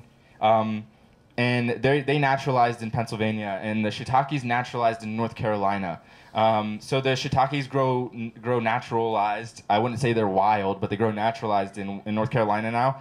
And I saw this picture. I wish I had a the, the, a broader picture of it, but I lost those files. It was on an entire oak tree. It wasn't just like an oak log of shiitake. It was an entire oak tree of shiitake. Like that whole table was just one round of that tree, and there was still more shiitakes on that tree. Uh, here we have Lepista nuda. This one's going to be really nice for um, composting uh, for gro- growing in compost, growing in leaf mulch. Uh, we have uh, Flammulina velutipes. Um, this one is really fun to play with um, because you can grow it um, tall, skinny, short, fat, white, brown. It, it, it takes to so, so much different um, um, environmental stimuli. And I think it's a really interesting metaphor for like like you take the light away it turns white you put the light it turns brown like it's it's it's the same thing. It's just a really good metaphor for for life. It just happens really fast. Um, and then truffles. How many of y'all have land? All right. Let's uh, let's try and get some land together as a cooperative. How about that? We make that one of the initiatives. Um, but when, whenever y'all get some land, or those of you that do have land, I would recommend those of uh, connecting with individuals that have mycological capacity to introduce truffle cultures to native nut trees, um, because it takes. We've, we're seeing this across the whole country now, especially around Pennsylvania, and Virginia, and Oregon, um, in Northern California. Um, individuals are planting nut trees that within six to seven years are producing truffles, then that produces truffles for the rest of the life of that tree, which is a high, high valuable product. And I'm looking at truffles from aside from just like shaving a little bit on some food. Like this is a highly neurological food. This is one of the most advanced forms of fungal life that exist on the planet. Truffles used to be uh, epigeous. Truffles used to be above ground gilled mushrooms, but they figured out that the best place to grow is underground, where the temperature stays the same and where the where the humidity and environment stays the same, and where they could be protected. But all they had to do was entice another organism because they need the mammals to, to fulfill their life cycle. And because of that, I mean, look at my truffled vole theory. I'm, I'm, I'm developing it still, still, but the idea.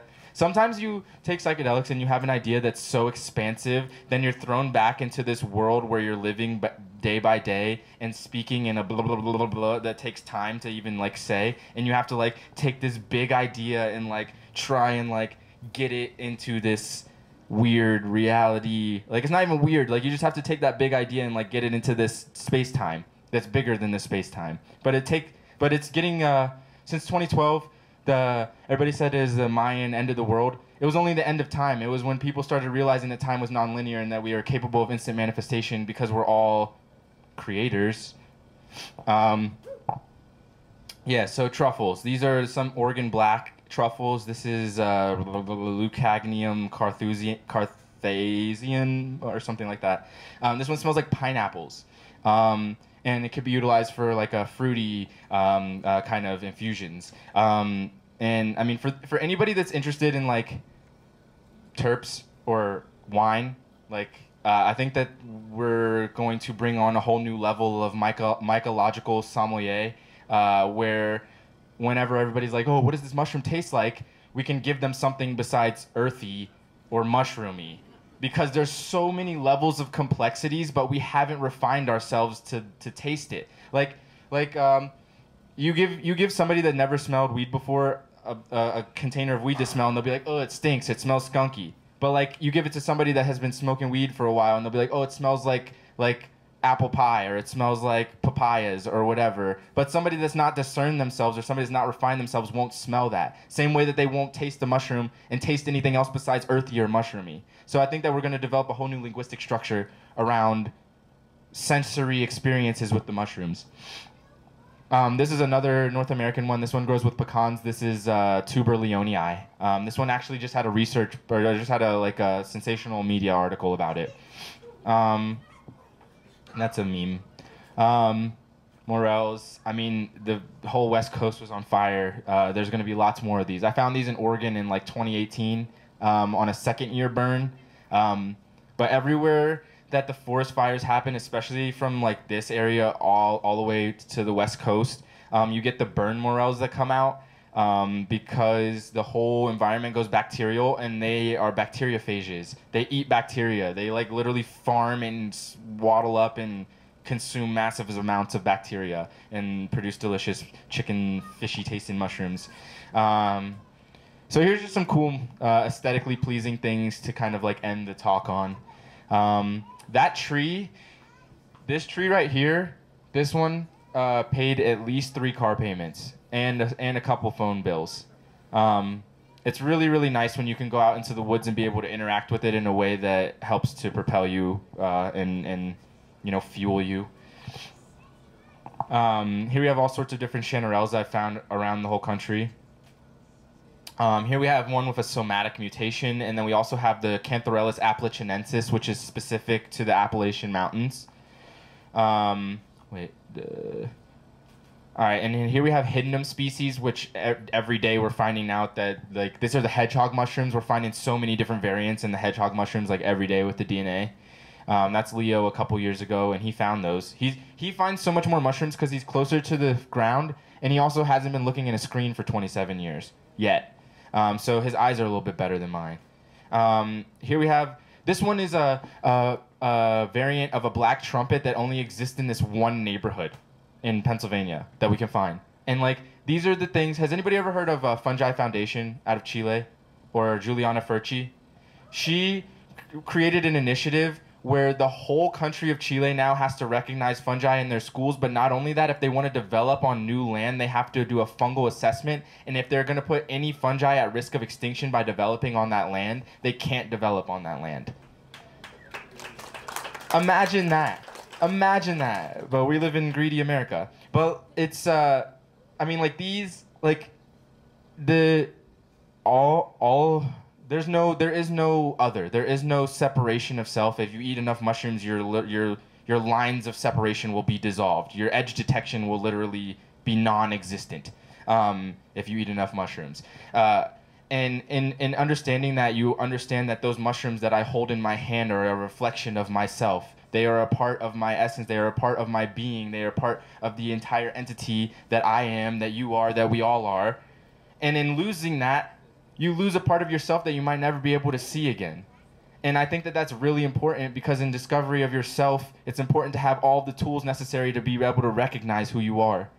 Um, so I think it's really important to to key in on these specific species. And I really and I um, as as more more people are starting to go as the night moves on, I really want to encourage individuals um, that have the interest to start delving into DNA work and molecular biology. Because as we're living in a world of rapid extinction, uh, we're also living in a world of rapid sequencing um, where we can be sequencing organisms as they're going extinct so that we have that information for whenever the next generation stops participating in this destructive these destructive systems and we start participating in regenerative systems and building these e- ecosystems back we have the information on how to build those ecosystems back where the where the organisms are no longer there um, yeah, so here's some more pretty mushroom pictures. This is the Ischnoderma resinosum. Um, when it's young, it grows white, and you can cut the tip off, and it tastes like skirt steak. So that's the one that uh, we're de- developing cultivation protocols for right now, and we're selling the culture already, and more and more people are, are growing it around the country now. So there's going to be, by fall, a whole new wave of mushrooms that have never been available to the market on the market now. Um, What does your gene bank look like? Because I looked online and like it looks like you have access to like so much stuff that uh like I don't have access to like sportsman wise. You know what I'm saying? like like my culture collection. Uh, it looking pretty slim right now because I just was asked to leave my place of residence like a couple months ago, and in leaving there, I left my refrigerator with my culture collection in it because I it was sensitive and I wanted to take it myself, and I was overwhelmed, and I left it, and they threw it away. Yeah. Yeah. So um, right now it's looking pretty slim, but you know we're entering into mushroom season, so we're collecting a lot of things. And as I go around and find things that are valuable, I'm collecting them. And you know people are sending us stuff every day, um, but it's pretty slim right now. It was pretty expensive at one point, um, but right now, um, now that I've got that kick in the butt, I got a cryo dewar. So everything that we have now is going to go back up into cryo preservation, and that's just going to go wherever I go. That's lock and chain like MycoSymbiotics cryopreservation.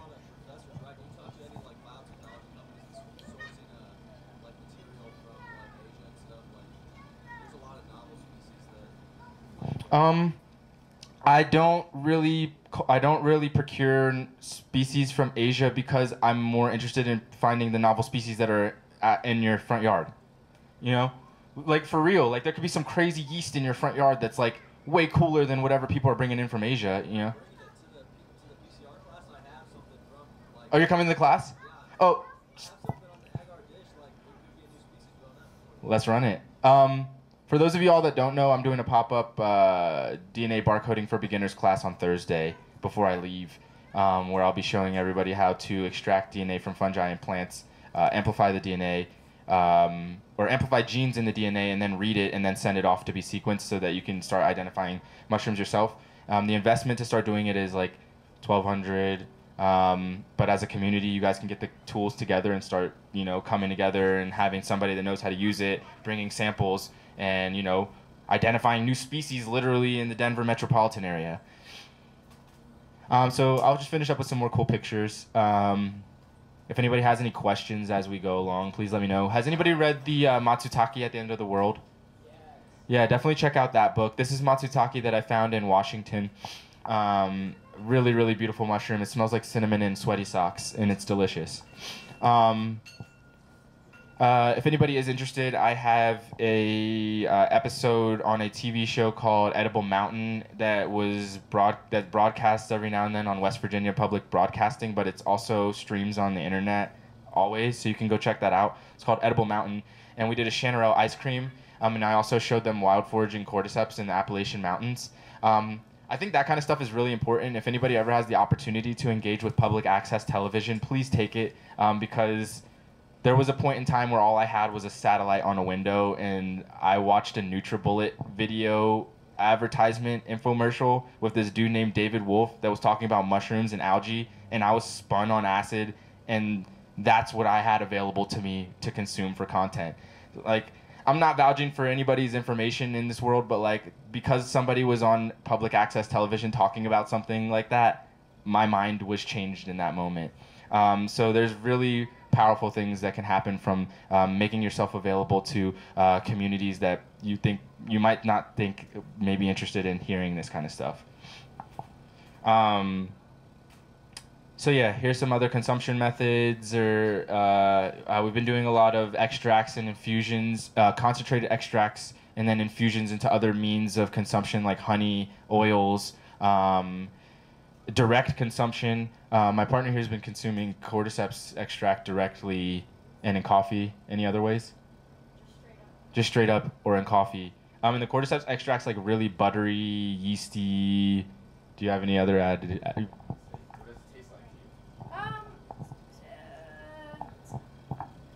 tastes kind of a slight fishy, earthy mushroom taste. Yeah. We need more words. I don't know. Um, so here is some other innovative things that we've been playing around with, and this is I took two kitchen bowls, um, and I put hemp and mycelium in between it, and I let the mycelium grow on the hemp. Um, and then I took the mycelium, I took the bowls away, and then I put it in the oven to kill it, and then I let it sit outside in the rain and in the sun for weeks, and it stayed a bowl, and I could throw it around, and it stayed like that. Um, so that was pretty cool. Um, and then I did this video with The Verge where we went out and found a very tenacious uh, mycelium that was. Um, um, it grows on the locust tree. It is. It is. Phellinus robiniae. Uh, so we found the Phellinus robiniae growing on the locust tree. It's really hard and it's a uh, perennial. It grows for multiple years, and its mycelium is also really hard. So we went and we took a sample of that, and they took that mycelium back to New York, and they made a brick with it. And you can watch that on YouTube. Um, it's the Verge mushroom brick video. Um, so yeah, the cordyceps was really the thing that um, secured my career, really, um, because I was doing all this science, and I was still this same person, but I had no um, resume. So nobody was like, nobody would show me the time of day. I was just a kid growing mushrooms in a grow tent, posting weird videos on YouTube. I was like, I was like the dude on the side of the road with the sign that says the most conscious stuff you ever heard ever, but nobody cares because he's just the dude on the side of the road and like people don't think he's successful at all. So like I was like slowly becoming that guy, and then I did the cordyceps stuff, and. Uh, it, it worked out really well in se- securing my career because then I went to go teach at Telluride with a bunch of other successful mycologists. Um, and then people started taking my work seriously, and then they started seeing I was doing a whole bunch of other cool science. Um, but here's some cool, cool cordyceps stuff. Um, the other one is Tolypocladium ophioglossoides, which has shown neurological benefits. It also shows a lot of benefits for uh, prostate health. Um, and uh, that one, I was the f- if I'm not mistaken, I was the first person in the world to cultivate this mushroom in vitro. Um, and since then, my friends Jeff and Ryan have also cultivated it in vitro, um, which could be really cool for you know prostate health or, or another nootropic type mushroom um, to be able to bring it into cultivation and kind of key in on those things. So these are the things where like I am so happy that I'm not stuck like doing a bunch of stuff to make money anymore, where I can actually like spend you know a week or two with one mushroom and actually give it the time that I need to develop the protocols for it. Um, where before I couldn't, I never had the time to do it. So everything I could do was just in the moment of it. Um, so these are some of my early uh, trials with cordyceps. Um, I grew them in metal trays until I grew them in aluminum trays, but everybody told me not to do that because they said they could accumulate aluminum. Um, So I was trying to save some money to send off a sample grown in aluminum to this uh, laboratory to get it tested, but I never got to that point. Um, so I just stopped growing them in aluminum, um, and I started doing them in glass. Um, and played around with different light techniques and played around with different temperatures until we keyed it in. And then I wrote two books on how to cultivate them as I developed more protocol for it. Um, and they were the first English. Uh, that was the first English literature on cultiv- on cordyceps cultivation anywhere in the world. Um, so since then, there's been cordyceps farms popping up everywhere in English speaking countries all over the world since 2016 whenever I told people how to do this. Cuz whenever I whenever I got the cordyceps I was so inspired by it because I knew its medicinal benefits and I went online to all the blogs and groups that I communicated with about how to grow mushrooms and everybody's like you can't grow cordyceps only people in Asia know how to grow cordyceps and nobody's to share you can't do it everybody told me I couldn't do it. Everybody's like, you can't do it. And I was like, all right, bet, I'll do it. And so like I was like, if somebody's doing it somewhere, I can do it here. So I watched all a bunch of Asian videos and I didn't know what they were doing, and then I replicated it just by wa- mimicking what they were doing. Like they were like boiling potatoes and putting a bunch of random ingredients in this water, and then like making rice with this potato water and like putting the culture in it. So I just did it, and it started working, and then I was able to refine it from there. And then as soon as I wrote the book, I sold the book for like ten dollars, and then we started open sourcing all the information on the Cordyceps Cultivation Group on Facebook, and then I mean you know what happens when things go open source once people stop trying to hide everything for themselves and realize collectively we can all benefit and, and evolve things way faster. Um, now we have cordyceps cultivation at a, at a broad scale across the country and in different countries now. Um, and along the way, a big uh, part of my work has been to make it cool to do this and make it culturally relevant, which is becoming more and more beneficial or more and more uh, relevant now as every day my likeness is getting hundreds and thousands of views for all these big media conglomerates. So um, lots of young people are seeing this, and it's becoming cool. It's not like weird and nerdy to do mushrooms now when there's the young black rapping kid that looks like every other rapper doing the mushroom stuff. Like maybe I can do it because I look like that, or that's something that I look up to. Because if I saw that when I was a kid, I would have been like, fuck yeah, I just didn't see it. so yeah, MycoSymbiotics wants you to join the militaris, uh, the Cordyceps militaris, that is. Um, so yeah, we've been playing around with bee mushroomed with some of the uh, bee ex- uh, the mushroom extracts with bees, and um, I can't say any definitive results from that just yet. Um, and doing a lot of DNA work, which, as I mentioned on Thursday, if anybody's interested, I will be doing a molecular uh, DNA barcoding for beginners class um, here in Denver. Um, and uh, yeah, every every day I'm just working on saving up to get more of the equipment that I think would be beneficial for educating more people um, and for doing more of the cool work that I want to see done in the world. Um, so yeah. Uh, oh, if anybody can get to Pennsylvania August 6th through the 8th for MycoFest, definitely do it. We have vending spots open. Like get somebody rent a bus and just get all y'all over there. It's so cool. We got three days camping, light breakfast and lunch included. Experts from around the country are going to be there, like literally from the whole country. Experts in mycology and permaculture. We're going to have live music, live art, um, and we're going to be doing forays. We have a cordyceps specific foray. Um, and we're going to be having live microscopy and real-time DNA sequencing at the festival. So I definitely recommend people getting out there. It's the seventh. It'll be the sixth annual festival because this the sixth annual was supposed to be last year, but COVID happened and all that. Um, but yeah, we've been rocking out, teaching ecological literacy and having a good time uh, for years, and I really would encourage more and more people to become part of that Myco fam. Um, but yeah, thanks for listening to me rant and ramble and cry and be a crazy, messy human being in front of all y'all.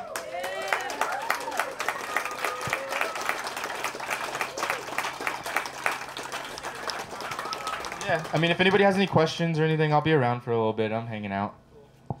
Um, does anybody have any questions while I still have the microphone to answer in front of people? Yep. So for some of those uh, wood chip loving Psilocybes, when's the best time of the year that you would spawn? All right, so for wood chip loving Psilocybes, the best time of year that I would spawn them would be in the spring and the fall um, when the temperature's not too hot, but that's also the time that they usually would be fruiting. So that's the time that their spores are usually like uh, ecologically used to go- growing. Um, so that's when they would be more readily uh, uh, um, growing. Yeah. Any other questions? Yep. How do your outdoor beds uh, go for? Is that usually like a year or two thing, and then it's a dirt that Um, needs to grow, or is So for aggressive, um, aggressive wood chip varieties like Stropharia or Psilocybe, um, a year or two, depending on how much it rains. If it's a dry year, then it can extend because it didn't it didn't spend its energy fruiting. Um, and uh, it, but if you keep adding more wood chips to the area, or if you keep adding more material or compost to the area, you can keep it going for years and years, and they'll probably grow out into different parts of your yard. Yeah. another question Yep. about labs, like finding labs to test uh, DNA or like Mhm. about? All right, so for labs to test DNA stuff, there's more and more independent people coming out, and then for like analytical stuff, uh, I mean, I there's companies that do it. I don't know if they're public. Uh, there's some people here; they can make themselves known if they want to. Um, but uh, then otherwise, it's going to be community stuff, you know. Yeah. Um, right on. Well, if nobody has any more questions, I mean, I'll still be up here. Otherwise, um, yep. Oh, um, how did you sign up for the class? Oh yeah, I'm gonna send that out on the email. Um, are you on Instagram or? If you can get on my Instagram, my link on my on my Instagram page has the ticket information. That'll be the easiest thing. Um, um, yeah, I'm just trying to smoke some hash and eat some food now. If anybody wants to do that, that would be cool. Oh, sweet. All right. Well, much love, everybody. It's been a pleasure. Um, I will hope to connect with you guys into the future.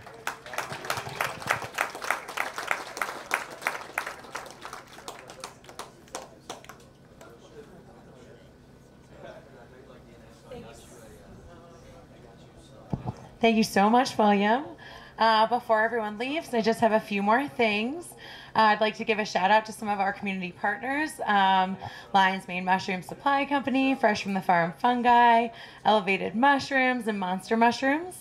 Uh, I'd also like to invite everyone to go either to the back table or come see me up front to sign up for our email list. Um, we'll be sending out information around membership opportunities, and as we are developing the co op, we love all of your feedback because it is an organization of us. Um, so we want you to be a part of it. Um, oh, and one more thing around harm reduction. If you're using psilocybin mushrooms, please take consideration around your set and setting before your journey. And don't forget to integrate afterwards so you can optimize your experience. Um, and lastly, I just want to acknowledge that we are on stolen land in Denver. So I just would like to acknowledge the ancestors and the people that came before us um, and, and um, just have a moment of silence for the land we stand on.